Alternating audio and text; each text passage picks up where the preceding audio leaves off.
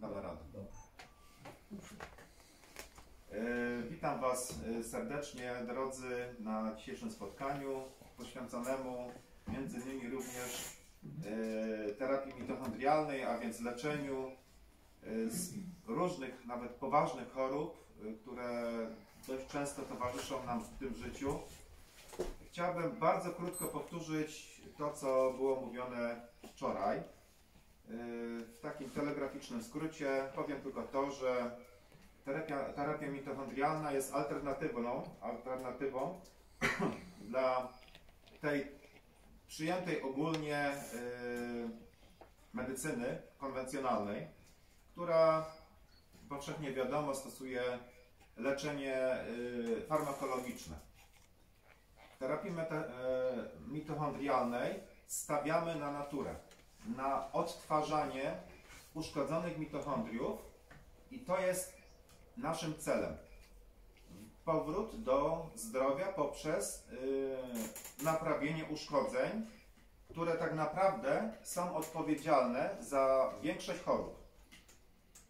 I jeżeli nawet wydaje nam się, że jakaś choroba jest yy, nie tak groźna, no to może być grypa, to może być yy, jakaś taka zwykła yy, wirusowa choroba, to również w przypadku takich chorób nie powinniśmy stosować leków chemicznych, ale stosować y, leczenie na- naturalne. Jest wiele tego typu sposobów naturalnego leczenia. Przy okazji może powiem, powiem o tym, że y, leki naturalne, czyli takie środki jak czosnek, cebula, y, a także różne zioła, a także... Coś mówię? Y, A także... Dziękuję bardzo. A także e, środki, bym powiedział, e, w pewnym sensie kulinarne, można powiedzieć. To znaczy e, takie, które spożywamy, czyli pokarmy, przyprawy mogą być, tak? Mogą być to e, takie przyprawy jak imbir na przykład, albo e, oregano, albo tymianek, e, albo mo może być to no, czosnek również jako też przyprawa, albo chrzan, albo kurkuma, albo goździki, tak. Mamy różne zioła, mamy różne przyprawy, które mają w sobie niesamowitą moc, moc uzdrawiania. I stosowanie tego wszystkiego nie tylko wtedy, jak jesteśmy chorzy, ale również wtedy, jak jesteśmy zdrowi, sprzyja zdrowiu, sprzyja y, utwierdzeniu, umocnieniu zdrowia. A więc y, trzymajmy się jak najdalej od leków, takich chemicznych leków, które jak y, przeczytałem w fachowej literaturze bardzo często prowadzą właśnie do uszkodzeń mitochondriów. A potem, kiedy już te uszkodzenia nastąpią, a jeśli nie wiemy o tym, że one nastąpiły, czujemy różne objawy chorobowe i często idziemy do lekarza z tymi obja- objawa- objawami. Są stwierdzane choroby, takie jak cukrzyca, czy jakieś inne zespoły metaboliczne, y, czy bóle reumatyczne, czy jakieś y, nadciśnienie, czy wiele innych. Są to objawy uszkodzeń mitochondrialnych. To nie są jakieś tam odizolowane choroby, tylko to są właśnie objawy uszkodzeń mi- mitochondrialnych. Czyli trzeba wrócić do źródła, żeby się wyleczyć, a nie brać leki, które tylko os- y, usuwają y, objawy, tłumią objawy. I chodzi musi- o to, żeby to były choroby przewlekłe, czyli do końca życia Tak. na nas przemysł farmaceutyczno-medyczny ma zarabiać. No właśnie. Ma nas leczyć, ale nie wyleczyć. Tak. No niestety no, taka jest y, rzeczywistość i czasami ludzie o tym nie wiedzą. Właściwie większość ludzi o tym nie wie, że nie o to chodzi y, w takiej te, zwykłej terapii medykamentami, żeby człowieka wyleczyć. Zapytałem ostatnio, miałem dużą grupę osób, 30 osób, przyszli na wykład, no i zapytałem wprost, czy bierzecie leki? Las rąk w górze. Wszyscy brali leki. Starsi ludzie, w większości schorowani. A pytam, a zadałem drugie pytanie, i czy te leki was wyleczyły? Zero rąk w górze. Nikogo nie wyleczyły. Wszyscy je biorą, ale nikogo nie wyleczyły.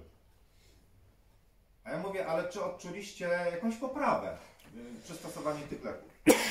Również nie. A czy odczuliście pogorszenie? Tak. pojawiły się inne choroby. No więc właśnie, no, to daje do zastanowienia, no bo jeżeli nie usuwamy choroby zasadniczej, tej, którą chcemy wyleczyć, no to coś jest nie tak z tymi lekami. Może właśnie należy się zastanowić, yy, że powinniśmy zmienić taktykę leczenia. Ja tu nie jestem jakimś fachowcem od leczenia, ale polegam na ludziach, którzy zajmują się leczeniem, na przykład dr yy, Bodo Kukliński, którego książki czytam i on yy, w swoich książkach, a napisał ich sporo, poleca właśnie terapię mitochondrialną. Dlatego, że yy, wraz z innymi naukowcami doszedł do wniosku, że yy, terapia farmaceutyczna niewiele pomaga, a tak naprawdę dużo szkodzi. I dlatego mm, została opracowana ta terapia mitochondrialna, która faktycznie leczy.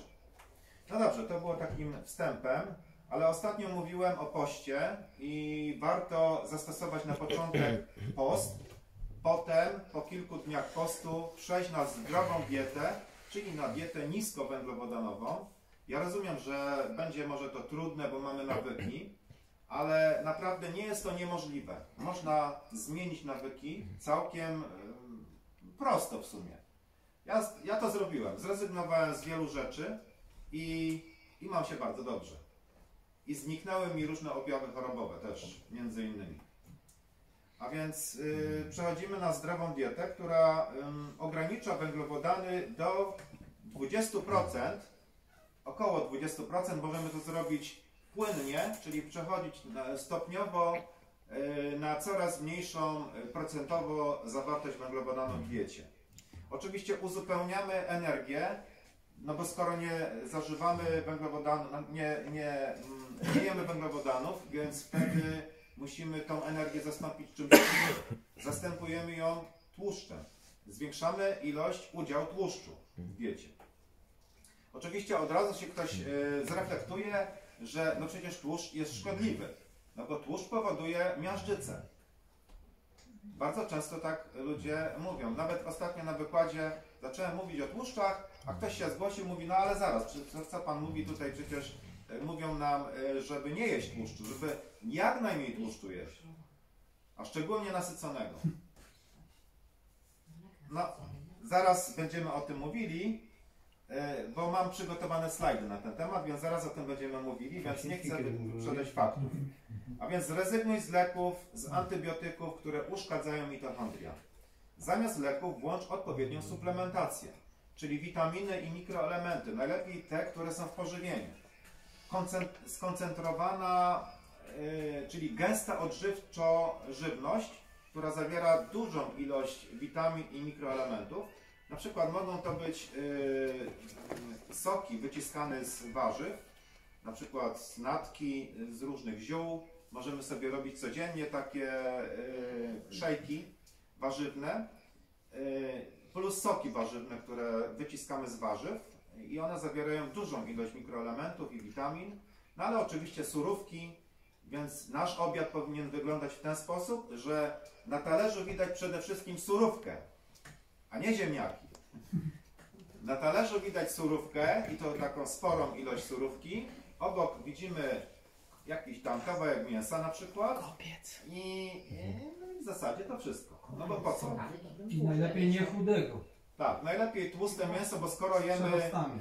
skoro mamy spożywać dużą ilość tłuszczu, no to mięso nie powinno być chude, a jeżeli jest chude, to powinniśmy uzupełnić tą e, porcję tłuszczu, którą powinniśmy spożyć w inny sposób. Na przykład e, może być to masło, albo śmietana, albo inny rodzaj tłuszczu. Może Tłuszcz być oliwa, z- kokosowy. oliwa z oliwek, może być Bardzo tłuszcz kokosowy albo palmowy. I smalec gęsi i kaczy. Smalec, gęsi i kaczy, tak. No, dziękuję za podpowiedzi. Prosto z kuchni. Tak. Widzę, Ale że smalec tutaj, gęsi to tylko żółty. widzę, że tutaj niektórzy mają praktykę. E, idźmy dalej. Mówiłem o suplementacji kwasów tłuszczowych omega-3, które są bardzo ważne, ponieważ naprawiają błony mitochondrialne, które są uszkodzone e, i też są bardzo ważne e, dla naszego serca, dla naszego układu krwionośnego. E, I mówiłem o tym, że kwasy tłuszczowe omega-3 znajdują się głównie w rybach, ale znajdują się również w algach, A więc jeżeli em, chcemy suplementować, jeżeli nie jemy ryb aż tak często, możemy suplementować te kwasy tłuszczowe, kupując sobie w sklepie, czy w, no, najczęściej w, sklepach zielarskich, czy w aptekach są właśnie takie preparaty. Tylko warto zwrócić uwagę, żeby były, em, miały certyfikat, żeby to nie była jakaś byle co, jakieś byle co. Nie? Bo wiadomo, że olej rybi może być skażony, może być zjełczały, y, dlatego warto, żeby to było sprawdzone źródło tych kwasów tłuszczowych. I może być też olej z alg. No i mówiłem o tym, żeby często jeść ryby. Najlepiej, żeby to były ryby e, z dobrego źródła również, żeby nie były to ryby skażone. Oczywiście nie jest to łatwe, żeby. No bo jak sprawdzimy? Przyjdziesz do sklepu i, i widzisz rybę. Po prostu byłoby dobrze, żeby wiedzieć skąd ona pochodzi. Ale czasami na opakowaniu z ryb jest napisane skąd ta ryba pochodzi. Więc nie kupujmy y, łososia norweskiego, tak? Bo on pochodzi z y, hodowli, która mm, po pierwsze jest odżywiany różnymi, różnego rodzaju paszami, E, i to nie jest naturalne dla, tego, dla tej ryby. E, A ponadto są barwione, mięso jest barwione barwnikiem, no i skażone tak, zanieczyszczeniami. Chyba, że jest to łosoś norweski bio. Wtedy jest No, łosoś norweski bio, tak? z certyfikatem. Albo ten z Alaski. A to to już ten jest dzik, tak, Dzik. mówimy o dziku.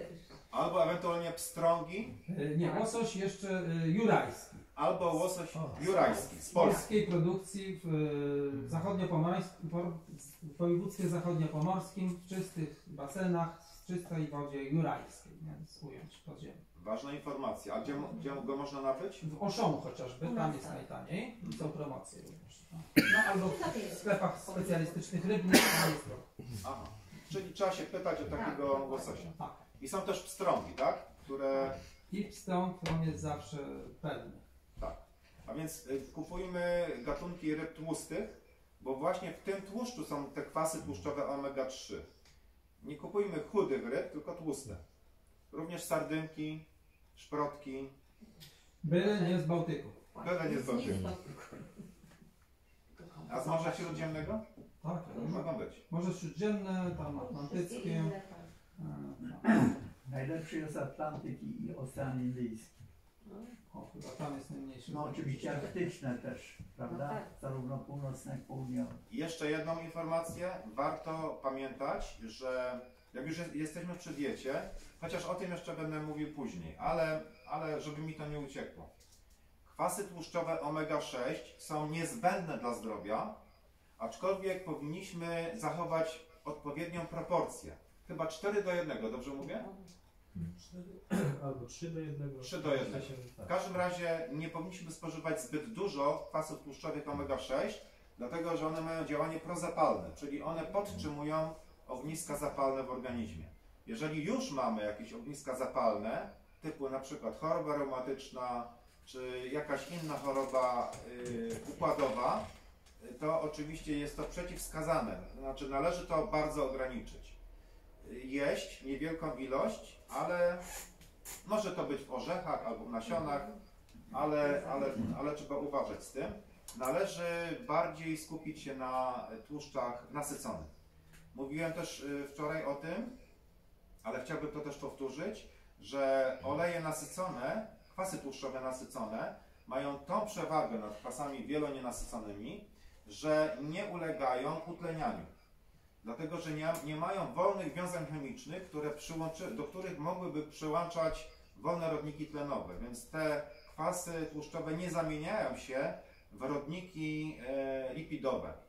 Nie mogą się zamienić, bo nie mają takiej możliwości.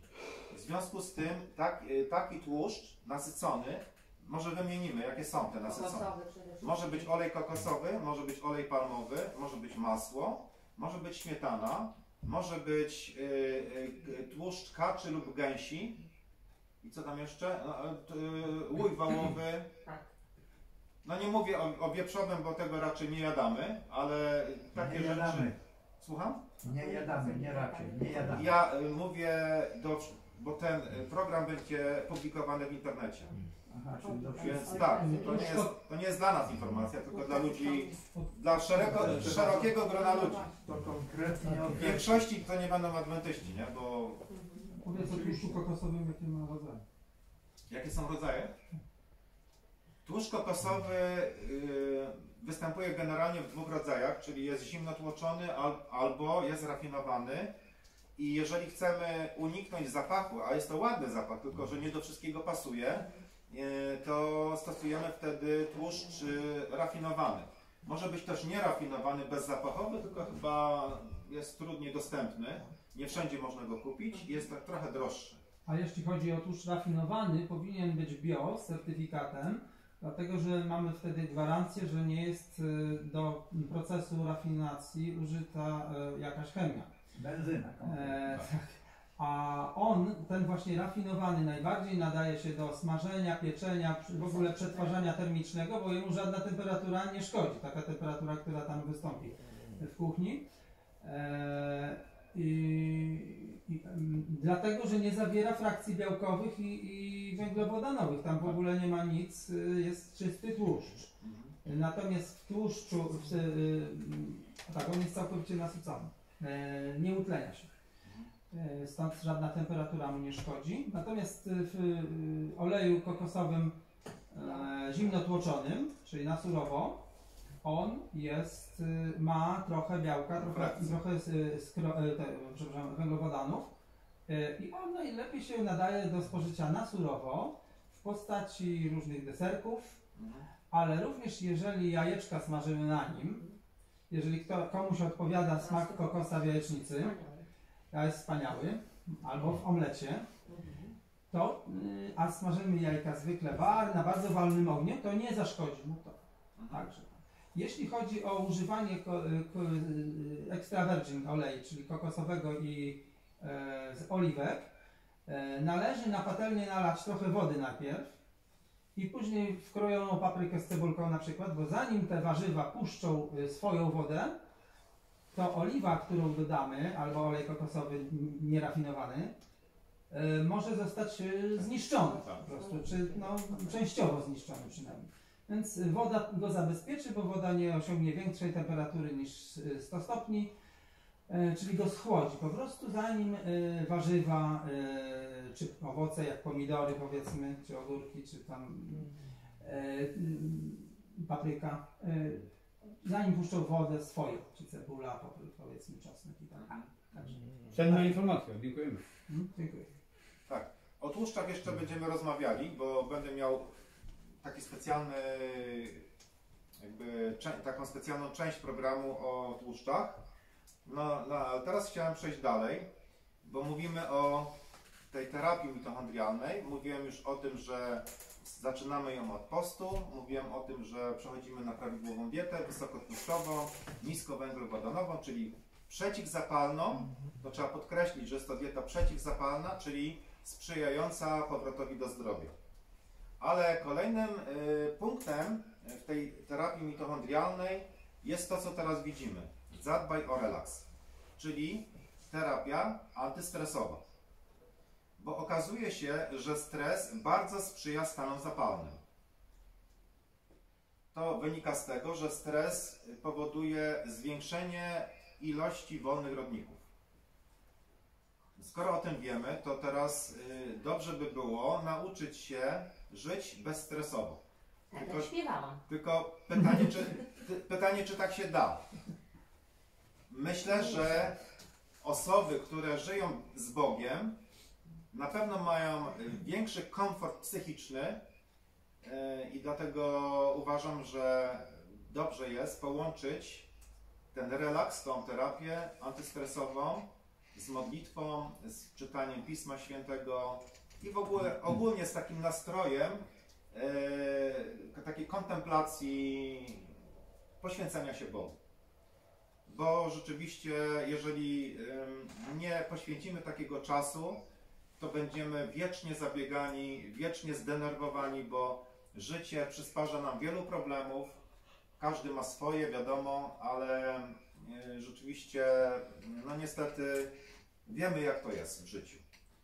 Każdy ma inne problemy i czy to problemy zdrowotne, czy to problemy rodzinne, czy to problemy z pracą, y, czy to problemy z kredytem. No, są, jest wiele, mnóstwo różnych problemów i dobrze jest znaleźć czas na to, żeby się odstresować i złożyć te wszystkie problemy w odpowiednie ręce. Czyli powierzyć tę sprawę Bogu. Ale również należy po prostu znaleźć zwykle, normalnie czas na odpoczynek. Na taki fizyczny odpoczynek. I myślę tutaj o tym, że jak się czujemy zmęczeni, to nie należy e, zachodzić tego, tego zmęczenia, w sensie oddalić je od siebie, tylko dobrze jest po prostu, jak mamy chwilę czasu, nie wszyscy mają e, taką możliwość, ale jeżeli mamy taką możliwość, po prostu położyć się i zdrzemnąć się.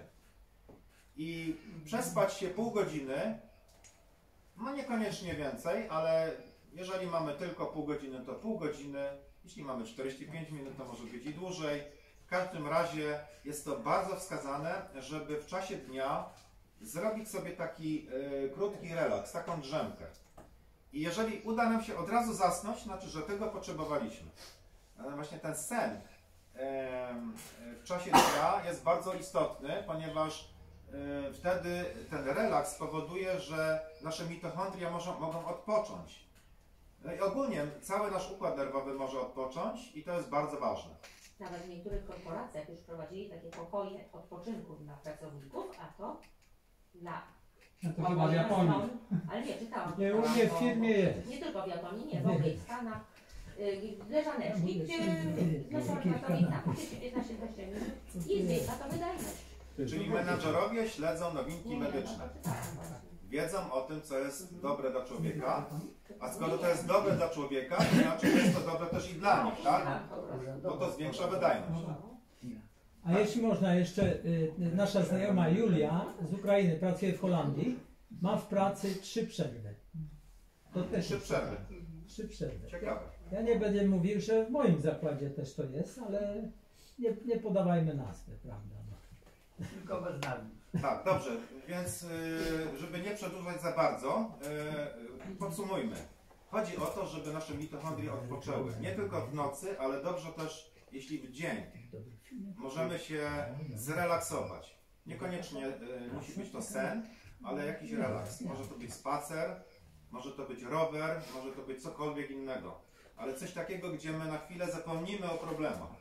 Jeżeli skupiamy się na problemach, zwiększa się stres, a jak się zwiększa stres, zwiększa się stres komórkowy również. I wtedy pojawiają się zniszczenia mitochondriów. No i stany zapalne. I w ten sposób fundujemy sobie chorobę. Także stres jest bardzo istotny e, w powstawaniu chorób, a e, oczywiście adekwatnie do tego przeciwdziałanie stresowi jest bardzo istotne w pokonywaniu chorób. No może tyle na temat y, mm, tego odpoczynku. Jeżeli chodzi o kolejny, ko- kolejny punkt terapii mitochondrialnej, jest to umiarkowany wysiłek fizyczny. Y, Naukowcy już od dawna y, badają ten temat i doszli do wniosku, myślę, że tak w zasadzie nie ma tutaj jakiejś no, dyskusji na ten temat, bo wszyscy są co do tego zgodni, że umiarkowany wysiłek fizyczny sprzyja zdrowiu.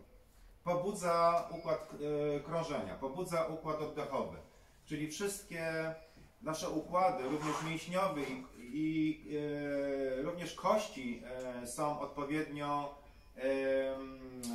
pobudzane do uwapnienia. Całe, wszystkie układy naszego ciała pobudzane są do regeneracji. Także pamiętajmy o umiarkowanym wysiłku fizycznym, żeby go nie zabrakło. Oczywiście niektórzy mają duży wysiłek fizyczny. Jeżeli mają zbyt duży, to też nie jest za dobrze.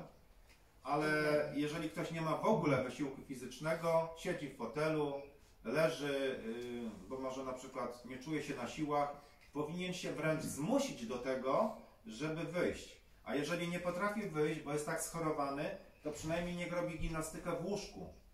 Niech wstanie i niech trochę podrepcze nogami. Jeżeli ma, bolą go kolana, to właśnie o to chodzi, żeby chodził. Nawet jeżeli bolą. E, Bo jeżeli zastosuję terapię mitochondrialną taką całościową, to za jakiś czas te kolana się zregenerują i w ogóle cały, cały organizm się zregeneruje, ale chodzi o to, żeby był ten e, wysiłek fizyczny. I gimnastyka również jest bardzo ważna. Jeżeli się nie gimnastykujemy, wtedy cierpią na tym nasze stawy.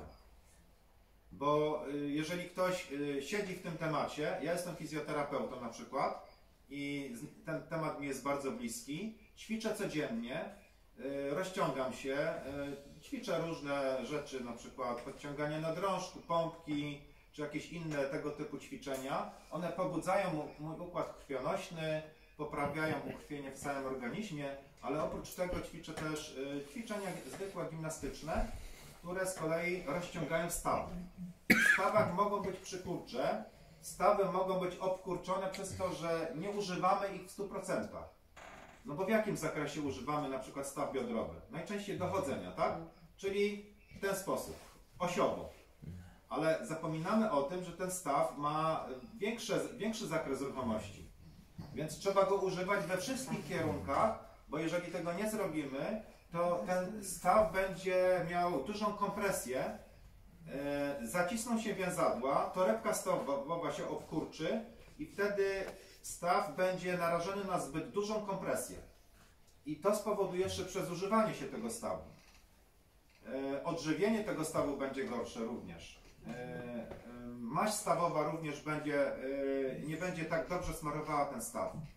Więc chodzi o to, żeby się ruszać, nie tylko w sensie takim, że tam idziemy normalnie, po prostu idziemy sobie na spacer, tylko żeby na przykład będąc na tym spacerze, znaleźć sobie jakieś miejsce, jakąś ławeczkę czy, czy jakieś drzewo, złapać się, zrobić sobie rozkrok pogłębiony, y, rozciągnąć te stawy w innym kierunku niż w tym osiowym i w ten sposób, y, tak jak tutaj ta pani na przykład ćwiczy na, obraz, na tym obrazku, nie, może, może nie dojdziemy do takiej wprawy, ale słuchajcie, każdy w swoim zakresie powinien ćwiczyć. Na tyle, na ile potrafi.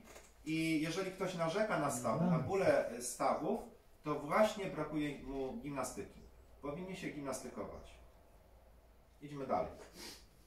Spożywaj wtórne substancje odżywcze, czyli przeciwutleniacze egzogenne. Co to są te przeciwutleniacze egzogenne? Czyli egzogenne, czyli zewnętrzne, czyli te, które dostarczamy wraz z pożywieniem. Jeżeli mówimy o przeciwutleniaczach, mówiłem o tym szerzej wczoraj, to przeciwutleniacze są produkowane w organizmie.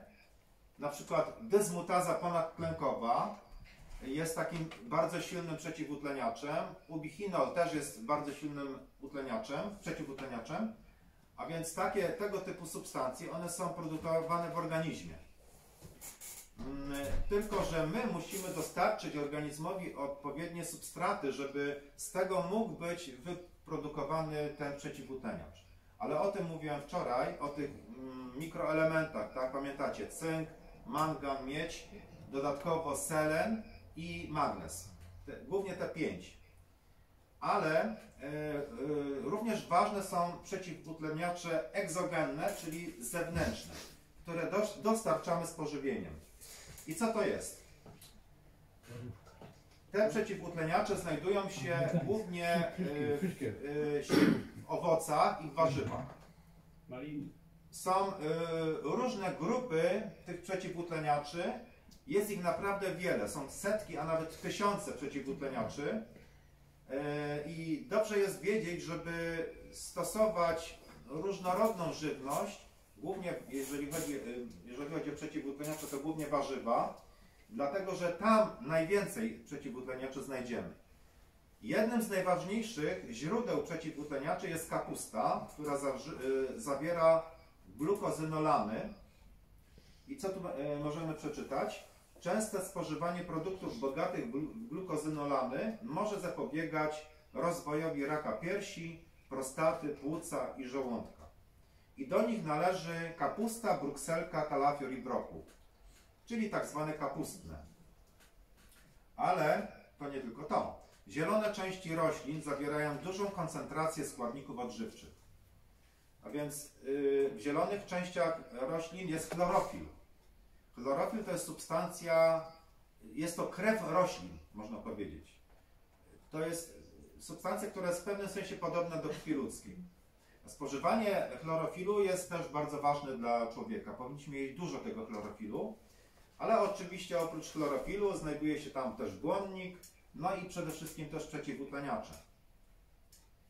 E, możemy sobie e, coś takiego, taki sok wyciskany z warzyw, najlepiej z zielonych części warzyw. E, może to być kapusta. Nie wiem, czy pamiętacie, ale wczoraj czy przedwczoraj mówiłem o tym, że w kapuście znajduje się e, jeden z bardzo silnych przeciwutleniaczy. Pamiętacie? Możemy go dos- dos- dostarczyć e, wraz z żywnością do, bezpośrednio do organizmu. Dysmutaza ponadtlenkowa znajduje się w kapuście.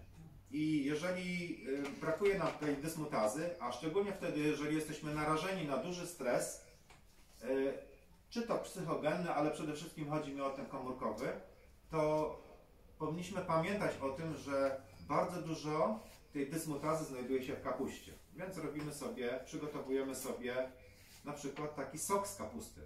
W kiszonej też? Może być kiszona, ale akurat y, surowa, Tu nie ma kapusty. Surowa, nie, mówię zielone części roślin Aha. i różne kapustne, brokuły czy inne. Tu akurat seler naciowy chyba. Może być seler naciowy, tak. Wszystkie zielone części roślin są bardzo istotne. Jarmuż również, szpinak, ale kapusta też.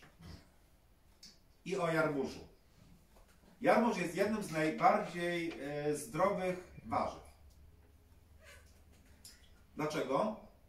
No bo zobaczcie, jakie ma bogactwo przeciwutleniaczy. Zawiera zeaksantynę, luteinę i sulforafan. To są trzy przeciwutleniacze. Oprócz tego zawiera witaminy K. To jest bardzo rzadko występująca witamina, witamina K. Głównie występuje właśnie w, w jarmużu i chyba w kapuście. Witamina B, witamina C, cynk, magnez, wapń, potasz, żelazo i fosfor. Więc mamy tego naprawdę bardzo dużo jarmużu i dlatego jarmuż jest bardzo cennym warzywem. Można z niego robić surówkę, można go obgotować, e, czyli możemy go przyrządzić na wiele sposobów. No i wreszcie mamy likopen. Również bardzo ważny przeciwutleniacz, znajdujący się na przykład w pomidorach. W pomidorach mamy również minerały, takie jak wapń, potas, magnez, żelazo, mangan, miedź, kobalt. Mangan i miedź, pamiętacie? Z pierwszego wykładu, jak mówiłem o dysmutazie ponadtlenkowej, znajdują się w pomidorach. Pomidory warto zjadać w po- w postaci surówki, ale warto też je zjadać w postaci przecieru pomidorowego. Dlaczego? Ponieważ wtedy tam jest zagęszczona ta zawartość likopenu.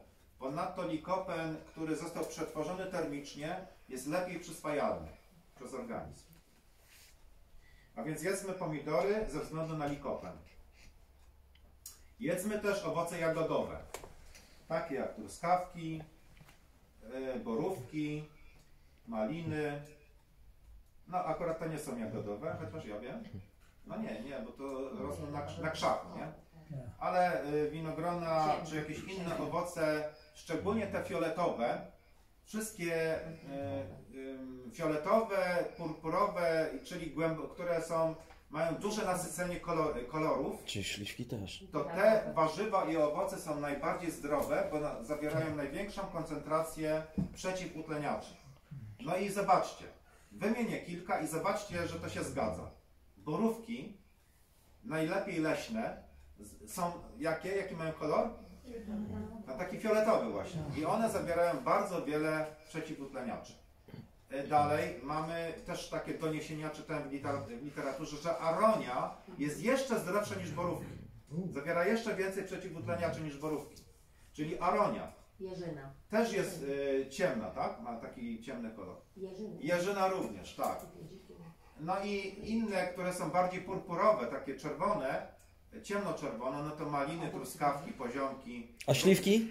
śliwki. Śliwki też są Ja takie. mówię o jagodowych. A jagodowe? Jagodowe. Tak, one są o tyle korzystne, że po pierwsze mają najwięcej przeciwutleniaczy, a po drugie mają stosunkowo mało cukru. E, W związku z tym dobre są dla cukrzyków, ale ze względu na niski indeks glikemiczny ogólnie są bardzo zdrowe. Dla każdego. Ale oczywiście wiśnie też są bardzo zdrowe, mm, czyli y, ogólnie rzecz biorąc kwaśne owoce są bardzo zdrowe. Wszys- Wszystko co jest kwaśne, wszystko co jest gorzkie jest bardzo zdrowe. Może o tym nie wiedzieliście. Gorzkie zioła. Jak? No gorzkie zioła. Gorzkie zioła, tak właśnie. Czyli ten grejpfrut. Czyli na przykład grejpfrut, A. tak. O, Ale słodkie owoce też trzeba jeść. Tylko nie tak dużo, bo one zawierają dużo węglowodanów. Jeżeli my ograniczamy węglowodany w naszej diecie, to nie powinniśmy jeść tego bardzo dużo, tak? Kiedyś potrafiłem zjeść kiść ba- bananów za jednym zamachem i to zaspokajało mój głód, ale teraz wiem, że to nie jest dobre dla organizmu. Oczywiście ogólnie banany są dobre, zawierają bardzo dużo potasu na przykład, na serce. i też mają taki czyn, czynnik przeciwnowotworowy, który w ten sposób możemy, y, że tak powiem, zabezpieczyć się przed nowotworem. Ale A co sądzisz o noni i, i o makka? Makka i noni, nonia. to słyszałem, że to są też bardzo zdrowe. Ja znam przypadek, że facet mając raka yy, yy, no, dwunastnicy nie mógł nic zjeść. Ja, ja znam ten przypadek. Pół roku nic nie jadł, tylko makkę, nonię i marchew pił. Na, nonia, najlepsza jest nonia haitańska. Ona ma tyle energii, jak się osobiście kiedyś przekonałem, a makka, bo w kilku punktach mieści, mie, mieści się. Tylko trzeba łyżeczkę dziennie, to jest Polsce drogie, na trzy- powyżej 3,5 tysiąca metrów peluwiańska, którą, którą tam uprawiają. Dziękuję. Dziękuję również. No i teraz przechodzimy do kolejnej rzeczy, czyli przyprawy. Kiedyś wziąłem sobie taką tabelkę, gdzie były wymienione e, substancje czy, czy różne produkty, w których jest największa koncentracja przeciwutleniaczy. I wyobraźcie sobie, że w tej liście, na tej liście na pierwszych pięciu pozycjach, na pierwszych pięciu pozycjach znajdowały się przyprawy. Ciekawe, nie? Więc możemy jeść wiele przeciwutleniaczy, tak jak mówiłem, są przeciwutleniacze w borówkach, w aroniach, w różnych jagodach, tam jest tego bardzo dużo, ale najwięcej jest w przyprawach. Mówisz o współczynniku ORAK? Yy, nie wiem co to jest. To ten antyrakowy. Najwięcej ma oregano, tak? Na, Tak. na, na górze? Tak. Mhm. Więc właśnie takie przyprawy jak oregano, tymianek, e, imbir, e, dalej, e, co tam jeszcze było, goździki, e, cynamon. Wymieniłem pięć? No, w każdym razie e, te, przy, te wszystkie przyprawy, może być też pieprz kaiński, one zawierają bardzo dużą ilość y, substancji przeciwutleniających i to pomaga nam w pokonaniu stresu oksydacyjnego, czyli tego komórkowego. Dlatego przyprawy należy dodawać do różnych potraw, a jeżeli nawet y, chcemy zwiększyć udział tych y, przypraw, to możemy sobie przygotować na przykład herbatkę z imbiru i wypić taką herbatkę zamiast wody, albo zamiast Coca-Coli, tak? albo zamiast jakiegoś innego napoju. Wypijamy sobie herbatkę z imbiru i mamy gwarancję, że to jest bardzo zdrowe, tak? bo to jest y, substancja przeciwnowotworowa. Zobaczcie, jakie ma właściwości imbir. Właściwości przeciwzapalne, przeciwbakteryjne i przeciwwirusowe. Jeżeli mówię o właściwościach przeciwwirusowych, to jeżeli zachorujemy na jakiegoś wirusa, złapiemy jakiegoś wirusa, może to być wirus przeziębienia, grypy, jakikolwiek, y, jakikolwiek wirus, pierwsze co robimy, znaczy inaczej, y, wirus musi wniknąć do organizmu przez y, nosogardzie, przez nosogardzie. I on najpierw tam się znajduje. Zanim przeniknie dalej, musi przejść przez barierę naszych, e, naszych e, tutaj filtrów, tak? E, czyli migdałków. Migdałki go przez pewien czas hamują, zatrzymują. Nie możemy przegapić tego momentu. To jest bardzo kluczowy moment, który decyduje o tym, czy ten wirus wniknie w głąb organizmu, czy nie. Jeżeli czujemy pierwsze objawy przeziębienia, grypy czy grypopodobne, to to, co zrobimy, y, jest decydujące. Jeżeli czujesz to wieczorem, nie wolno ci iść spać.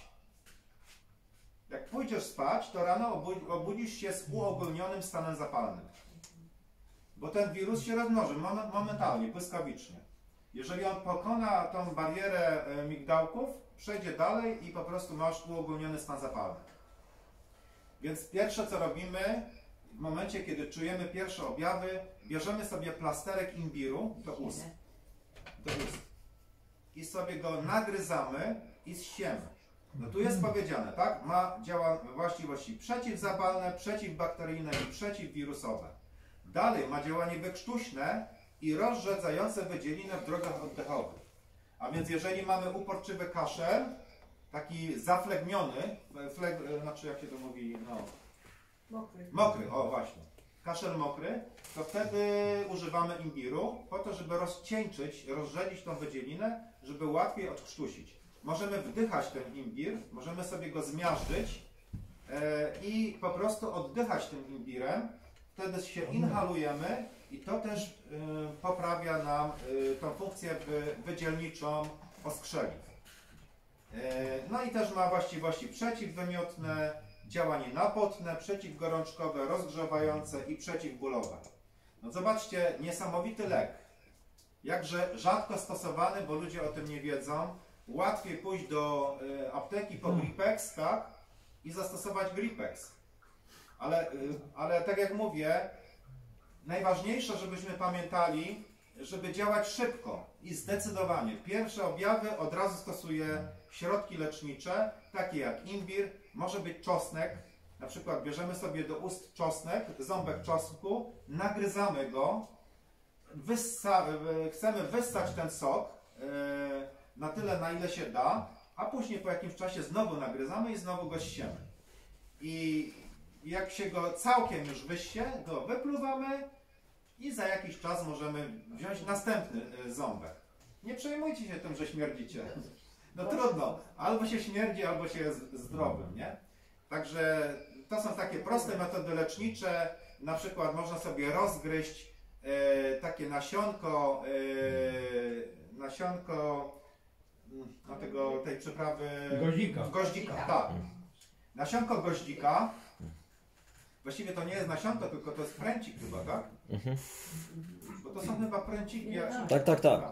E, I takiego, taki pręcik goździka sobie rozgry, rozgryzamy i ściemy i ten smak, taki goryczkowaty, oznacza, że on ma właśnie dużo przeciwutleniaczy i one rozprawiają się z bakteriami i z wirusami.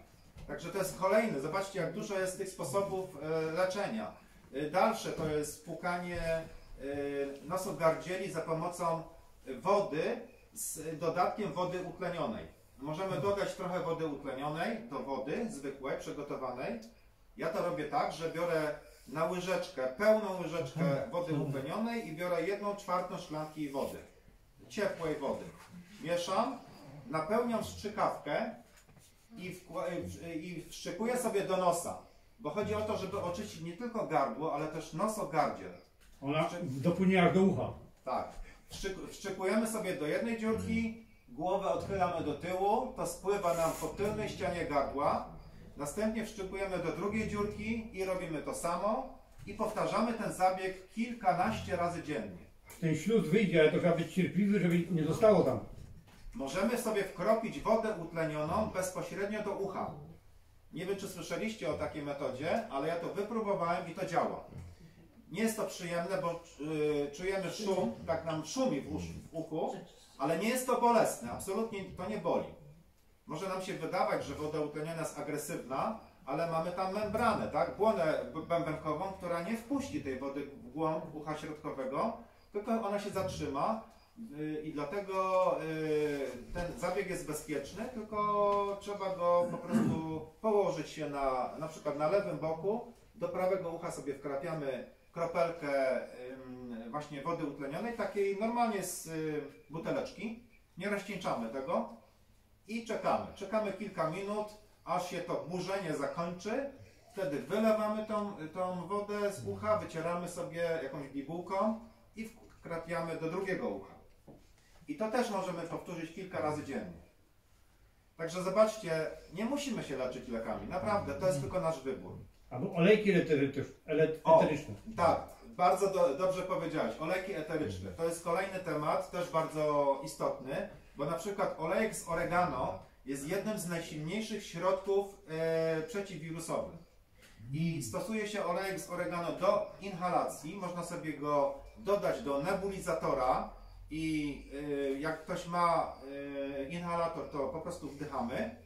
Możemy go dodać do tego kominka takiego, są takie kominki specjalne, tam sobie wkrapiamy i idziemy spać i stawiamy sobie ten kominek obok siebie. E, Albo są takie e, elektryczne, e, takie nawilżacze powietrza. To do takiego elektrycznego sobie wkrapiamy, idziemy spać i całą noc się inhalujemy. Już momencik, a albo możemy też wkropić do wody i wypić. Tylko nie za dużo, bo olej z oregano jest bardzo, Trzy krople. bardzo mocny. Trzy krople. Tak, nie więcej niż trzy krople. Ja to próbowałem, powiem Wam, że trochę drapie w gardle, ale bardzo, bardzo pomaga. Jest bardzo skuteczny. Y, Wspomniałeś o nebulizatorze, no nie? To jest super, to jest podstawa, każdy to powinien mieć. Ja nawet na mieszkanie można puszczać, no nie, bo to się rozchodzi. Ale jedna uwaga, jeśli chcemy stosować olejki eteryczne, a ktoś nie wie, musi być odpowiedni skład tego plastiku, bo olejki eteryczne rozpuszczają ten plastik i idzie do naszego wnętrza. Ale jest pe pewien rodzaj plastiku, który nie rozpuszcza, żaden olejek nie rozpuści, to tylko tyle. Tak, tak, dziękuję. No to jeżeli chcemy uniknąć takiego problemu z plastikiem, to możemy wkropić do wrzątku, to znaczy do szklanki, nalać wrzątku, dać ten olejek kilka kropli i później na, nadstawić sobie nos y, nad tą szklankę i wdychać ten olejek prosto z tego, te opary. Nie obraź się, ale tutaj absolutnie nie masz racji. Robili tak nasze babcie i nakładali ręcznik na głowę i tym podobnie. Nie jest to w porządku, bo woda ciepła rozmiękcza nasze tutaj to wszystko i się robi dodatkowe zapalenie. A to się ma nie robić, to się ma robić zimne, żeby to działało i dlatego po, po, potrzebne są nobilizatory. O, może nie mam racji. Nie, nie gniewaj się, no nie? Co Ja to się nie jest? gniewam, nie, no ja nie, ja, Nie ja tu nie jestem jak, jakimś jest? kompendium wiedzy, tylko tak No, słyszałem. nobilizator. Ja robiłem tak po prostu. Brałem chusteczkę, e, taką papierową, nie? Kropliłem na tą chusteczkę i kładłem obok, Dobrze tutaj. obok głowy, która leżała na poduszce. Tak, na noc. Tak, tak. Mhm. I Dobry to pomysł. kilka razy, bo to się w nocy człowiek budzi, to kilka razy do, dokraplałem i, i, i był, było to naprawdę skuteczne. I na zimno. A wiecie, jak ja robię to, jak, jak powiedziałeś o tym Twoim pomyśle, to od razu mi się przypomniało, jak ja robiłem. Kiedyś miałem też infekcję i wpadłem na pomysł, bo myślę sobie tak, jak to dawkować, nie? I wpadłem na pomysł, że- że wziąłem sobie bibułkę, e, miałem taki kawałek bibułki, jakiegoś ręcznika papierowego, wkropiłem sobie olejek oregano, jedną kropelkę i włożyłem do nosa. Tak, to też. Dobry pomysł. No, A wiecie, że w y, samochodzie bardzo dobrze, bo te, wiecie, te odświeżacze y, powietrza do samochodu Są sztuczne. to są sztuczne, wszystkie bardzo może ładnie pachną, ale są sztuczne. Więc lepiej sobie kupić olejki eteryczne e, w sklepie, w, który sprzedaje s- takie bio, e, całkowicie naturalne, bo, bo są też i z chemią, nie? E, I sobie właśnie taki zro, zrobić, wziąć po prostu chusteczkę higieniczną, papierową, zrobić z niej kulkę, nakroplić i gdzieś tam w, drzwiach. E, Rewelacyjnie jest olejek z sosny kaukaskiej. o, Jego można smarować i można pić. sosna Tak, kokajska. Mo, można pić. Ale taki podstawowy olejek na zatoki to jest mięta. Ona po prostu Mięta, wykasza wszystko. Tak. I, Jak żeśmy mieli I tymiankowy też. I tymian. I jak żeśmy mieli wirusa, to ja DMSO, łyżeczkę, DMSO, y, łyżeczkę DMSO z wody i, i pół łyżeczki y, tego, co się smaruje, amolu. Mhm. Do tego nobilizatora i to się rozchodziło po, po, po pokoju. Jest? Opowiedz bracie powoli tą nazwę. Numinator? Nobilizator. Jak, jak, jak? Powoli. Nebulizator. Nebulizator. Tylko słuchajcie, tutaj żeby nie pomylić, nebulizator to jest taki mały pojemniczek cylindryczny, na który nakłada się maseczkę Tak. i to się przykłada do ust, a ten nebulizator łączy się z inhalatorem. Tak. I to są inhalatory najczęściej takie tłokowe, które tłoczą y, powietrze, przez, przechodzi to powietrze przez y, nebulizator, nasyca się tą, tą wilgocią I puszcza parę cały czas. Mm, No dobra, no to może przejdźmy dalej. Teraz y, kolejny temat. Y, Jeżeli jesteśmy dalej przy przeciwutleniaczach, to chcemy powiedzieć również, że istnieją substancje czy napary, napary, które są bardzo korzystne dla naszego zdrowia i takie napary, takie herbatki powinniśmy często pić. I tutaj jest duży zakres, y, naprawdę jest dużo takich naparów. Może to być napar z rumianku, no, może to być napar z dziurawca, z mięty, czyli z różnych ziół. One mają w sobie leczniczą moc. E, bo tak to Bóg zaprojektował, że zioła są e, nam potrzebne do leczenia. Ale również na przykład herbata. Na pewno słyszeliście, że zielona herbata ma bardzo dużą ilość przeciwutleniaczy i między innymi flawonole tak zwane. I udowodniono, to już wiele e, lat temu udowodniono i to też nie, nie jeden naukowiec, tylko wielu naukowców udowodniło, że flawonole działają przeciwmiażdżycowo, a polifenole i katechiny wykazują działanie przeciwnowotworowe. Zielona herbata zmniejsza również ryzyko demencji starczej. Także zielona herbata, nie tylko zielona, bo czarna też, ma bardzo silne działanie przeciwutleniające i dzięki temu zachowujemy no, tą, tą y, właściwą proporcję pomiędzy wolnymi rodnikami tlenowymi a przeciwutleniaczami. Także warto, nie za dużo, tutaj y, zgłasza się ktoś, chciałby coś powiedzieć, proszę bardzo. Niemniej jednak z herbatą trzeba uważać, bo y, krzak herbaciany y, zasysa z gleby bardzo dużo aluminium. Właśnie. No. I ono źle wpływa na naszą tkankę nerwową, na neurony i tak dalej. E, Więc Mogę coś powiedzieć? z zielonej herbaty, Momencik. e, z zielonej herbaty y, pojawiły się e, ekstrakty i te wszystkie e, zdrowe rzeczy, o których tu Zbyszek wspomniał, są w tych ekstraktach. Natomiast jest to oczyszczone z aluminium, z jakiejś tam kofeiny, e, z, z innych nie, niewłaściwych e, rzeczy. Dziękuję. Także Ten ekstrakt lekarz to wspominał, to jak tutaj Właśnie, tak, Łukasz o tym mówił. Ale czy jeżeli się wypije jedną zieloną herbatę dziennie, to chyba nie jest jakieś tam... No nie, on, on tego unika na przykład. W ogóle? Musielibyśmy to zmierzyć, ile tego aluminium rzeczywiście przyjmujemy. E, trzeba by się było skonsultować w tej kwestii, żeby to Zielona herbata naj, najbardziej pobiera. żeby to, no, zielona to jest w ogóle herbata jest sama, e, sama zielona. Znaczy nie ma innej herbaty, na krzaku jest zielona. I z tej zielonej się, z tej zielonej się robi różne e, formy fermentacji. Najmniejsza forma fermentacji to jest żółta, to jest najkrótsza fermentacja. Później jest czerwona, to są ulungi e, e, i czarna. Natomiast biała herbata, no to jest też herbata zielona, tylko po prostu dająca taki e, nikły napar kolorystycznie, że się nazywają białą. Zwykle ona jest z pierwszych liści na krzaku albo z tipsów, czyli z pączków. Także to jest, a wszystko pochodzi z jednego, jednego zielonego krzaka herbaty. Każda herbata jest Mogę najpierw wam coś zielona. powiedzieć na temat herbaty. To Słuchamy? Słuchajcie moi drodzy, biała herbata jest najlepsza z, herbat. Dlaczego? Dlatego, że jest to właśnie tak jak powiedziałeś, to z te pierwsze pięć listków. I ona nie podlega, e, biała herbata, którą nomen omen ja piję, ona nie podlega fermentacji. To jest herbata, która się, te listki się tylko suszy, nic więcej. I cały, y, cały plus polega na tym, żeby dobrze ją parzyć. Bo jak się umie ją dobrze parzyć, to jest, no, jest dużo, dużo lepsza od zielonej i wszystkich tych innych herbat. Bo nie ma, przede wszystkim nie ma aluminium, bo, bo to są te, te młodziutkie, młodziutkie takie listki i kwestia parzenia. Na, y, tam troszeczkę się daje y, do, do, do na, na, najlepiej parzyć nie w filiżance, tylko w, w, w takim do, do, do, zaparzaczu. I przykładowo dajecie pół łyżeczki, pół łyżeczki, pół, pół małej łyżeczki herbaty białej, zaparzyć to temperaturą maksymalnie 80 stopni i pierwsze parzenie jest półtora minuty, nie więcej, półtora minuty. Drugie parzenie, jak już wypijemy, tutaj mamy drugie parzenie, to jest 3 minuty. I trzecie parzenie, bo trzy razy ją można parzyć, to jest 5 minut. I wtedy ona jest najbardziej efektowna.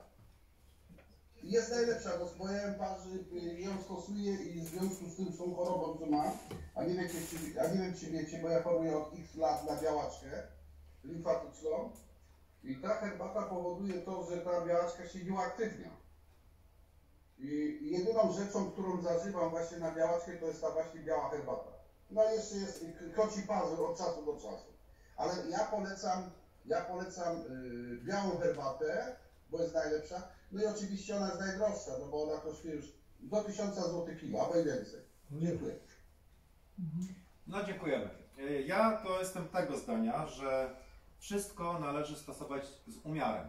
Tak. Bo ktoś na przykład będzie unikał zielonej herbaty, ale w tym samym czasie będzie stosował pastę do zębów z fluorem na przykład, albo jakieś y, dezodoranty w kulce, w sztywcie, Aluminium. które zawierają aluminium i y, to jest po prostu takie przesadzanie komara, ale faktycznie, no rzeczywiście są to ważne rzeczy, trzeba o tym wiedzieć, ale jeżeli herbata jest tak silnym przeciwutleniaczem, może to jest dobre rozwiązanie, żeby stosować te wyciągi Mhm. roślinne.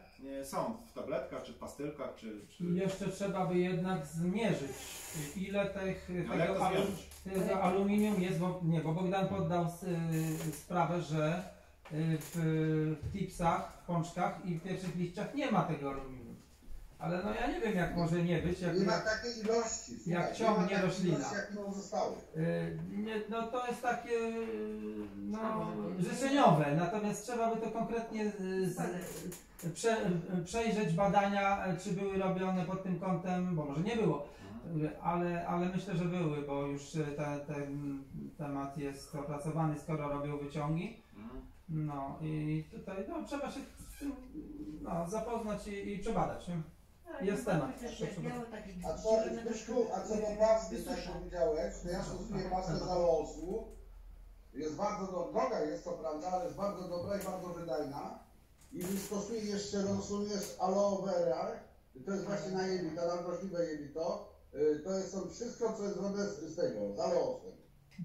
Ta pasta z aloesu, y, już wam powiem jak ona się nazywa.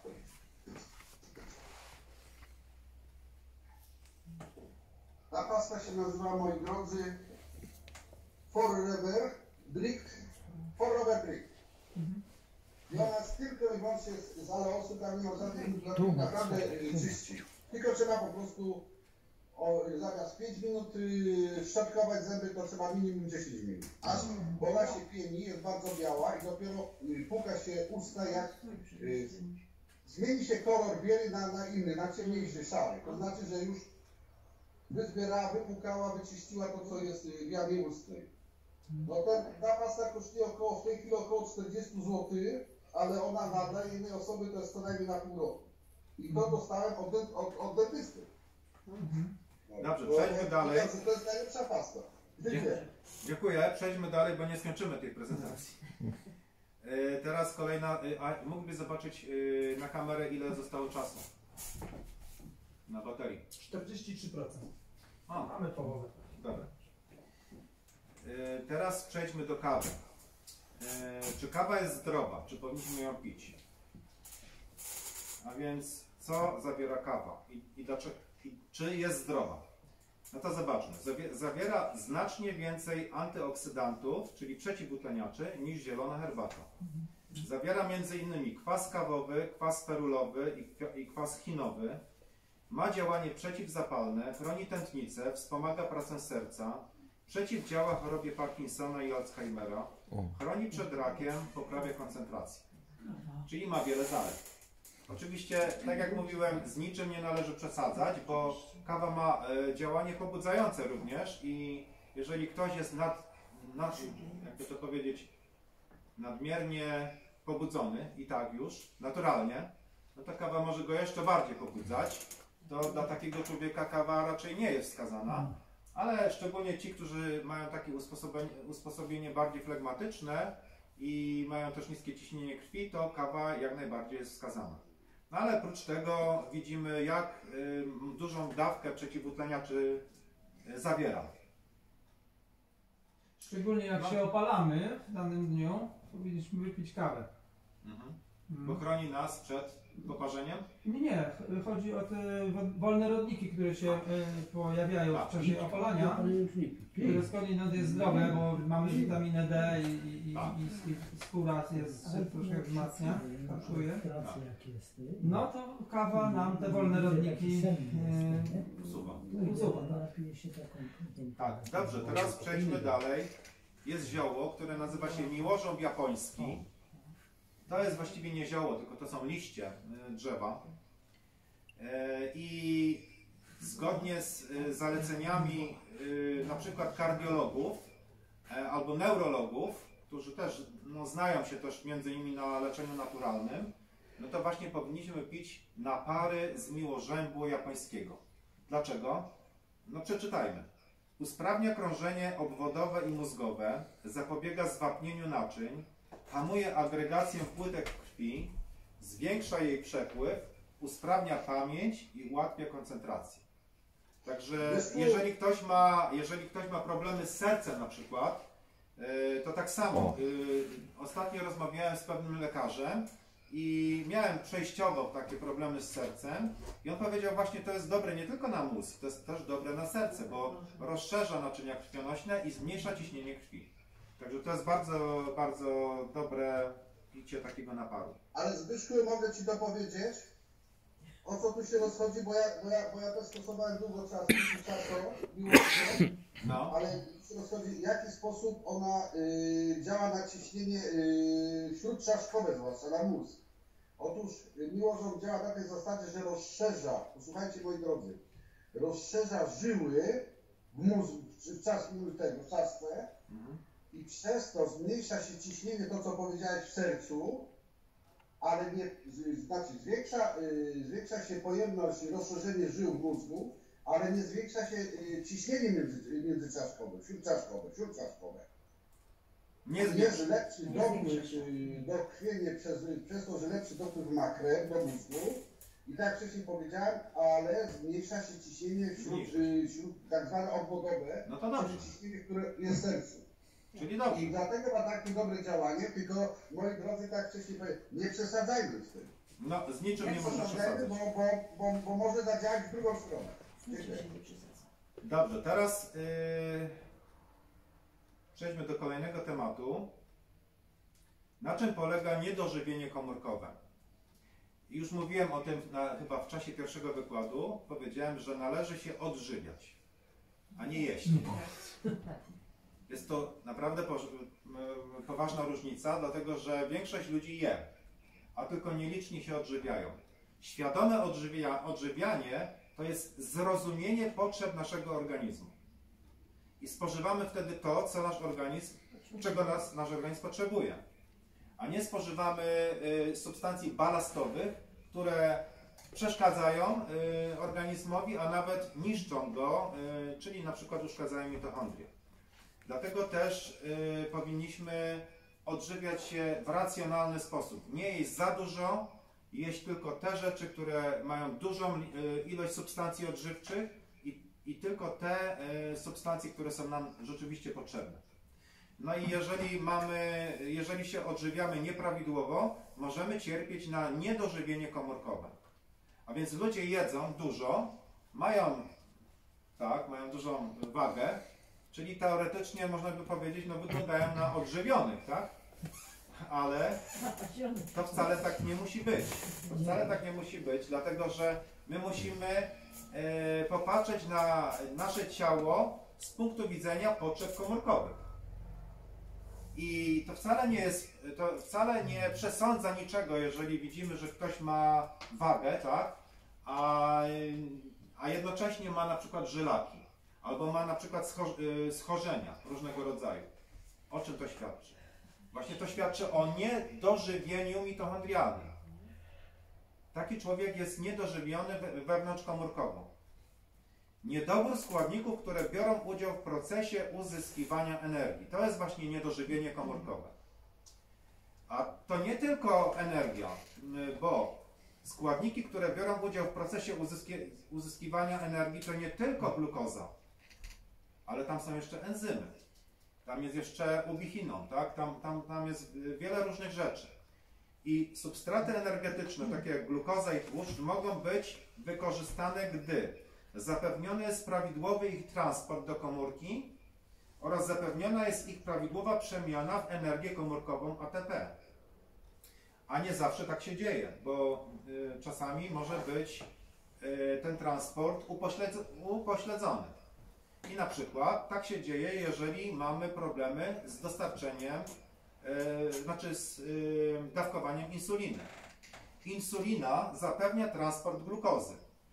Receptory insulinowe otwierają drogę glukozy do komórki, lecz insulinooporność ją zamyka. Jeżeli nadużywamy węglowodanów, nasze ciało y, wymaga większej ilości insuliny.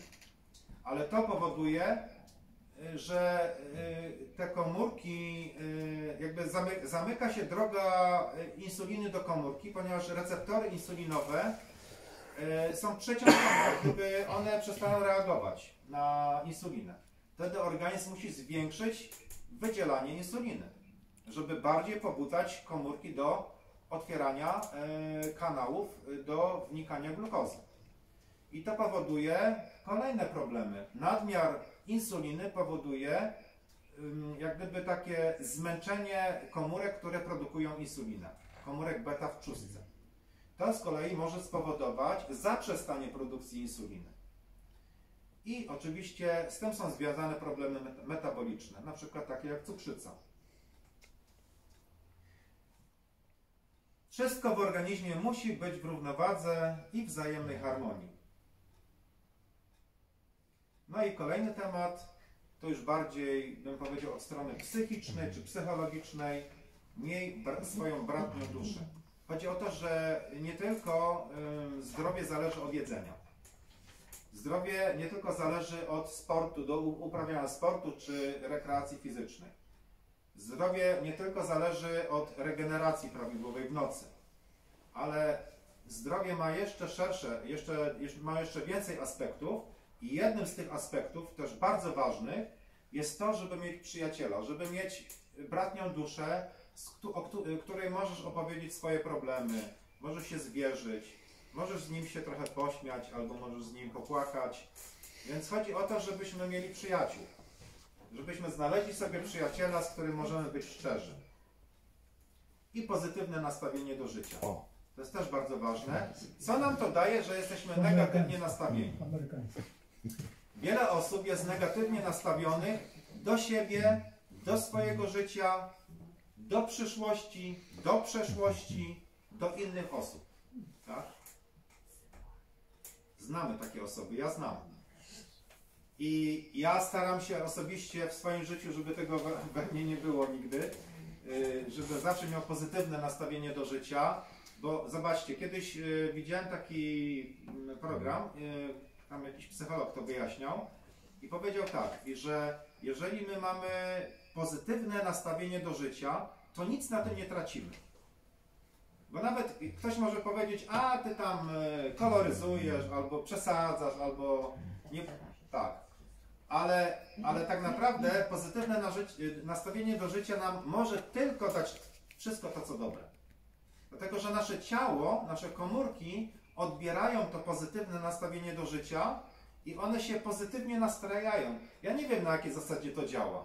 Może to nawet jest jakaś taka sprawa niezbadana, jakaś głęboka tajemnica ludzkiego życia, ale, ale tak się właśnie dzieje, że nasze komórki, wszystkie komórki całego ciała odbierają nastawienie, jakie mamy w umyśle. Jesteśmy, jeżeli jesteśmy źle nastawieni, to w, tym momencie komórki również w jakiś sposób odbierają to nasze na- złe nastawienie, te nasze złe emocje i jakby sprzeciwiają się e, ch- chęci życia. I, one, I to powoduje, że będziemy krócej żyli. Oczywiście wtedy są też produkowane e, wolne rodniki tlenowe w zwiększonej ilości. To wszystko ze sobą współgra. Dlatego pozytywne nas- nastawienie do życia jest jedną z zasad zdrowia. To się skupia, skupia w psalmie 37, werset 5. Jeżeli jesteśmy dobrze nastawieni do życia, Prawda? to tak samo będziemy dobrze nastawieni do drugiego człowieka, tak? Co nam to daje, że jesteśmy źle do niego nastawieni? Kto na tym zyskuje? Bo on odbiera twoje złe emocje i on na tym cierpi, ale ty również na tym nic nie zyskujesz, ty tylko na tym możesz cierpieć. Tak, Bo oburzysz się na niego i Tak, jesteś na niego zły, ale to powoduje spięcie w Twoim organizmie. Powstaje stres, złe emocje i to się odbija na Twoim zdrowiu. I są takie hipotezy, że z tego mogą powstawać choroby z autoagresji, czyli autoimmunologiczne. Dlatego pozytywne nastawienie do życia jest bardzo ważne.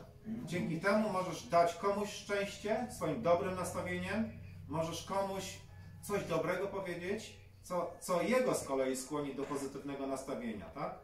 Czyli w ten sposób możesz rozsiewać dobro. Ale jeżeli masz złe nastawienie do życia, jesteś sfrustrowany, przygnębiony, to może najlepiej by było, jakbyś poszedł do kogoś, kto jest dobrze nastawiony do życia Żeby to odebrać. i żebyś odebrał od niego to, ten dobry nastrój. A jeszcze lepiej działa modlitwa. Jeżeli wierzymy w Boga, a wierzę, że wierzymy w Boga, Państwo też, którzy oglądają ten program, wierzycie w Boga, to jeżeli mamy jakiekolwiek troski, jakieś zmartwienia, powierzmy te troski Bogu, zrzućmy je z siebie, złóżmy je na naszego dobrego Ojca, który jest powiedziane w Piśmie Świętym, że On nosi nasze zmartwienia. I wtedy odzyskamy dobre nastawienie do życia, dlatego że już nie będą nas dręczyły dłużej e, no, tego typu rzeczy. Także to jest też bardzo ważne. Na to chciałem zwrócić uwagę. Właśnie o tym teraz y, mówiłem. Wyciszenie i ufność w Bożą moc. Bóg ma moc, aby uwolnić nas od trosk, od różnych zmartwień. Osobiście w swoim życiu miałem wiele tego rodzaju doświadczeń i wiem o czym mówię. I to, co teraz mówię, mówię z własnego doświadczenia, z praktyki życia.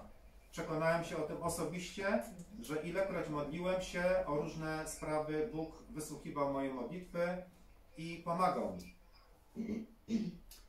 I może teraz zrobimy sobie przerwę, a po przerwie będziemy mówili o tłuszczach. To na razie dziękuję za uwagę. No właśnie teraz nie, Możesz bo minęła, przerwać nagrywanie. bo minęła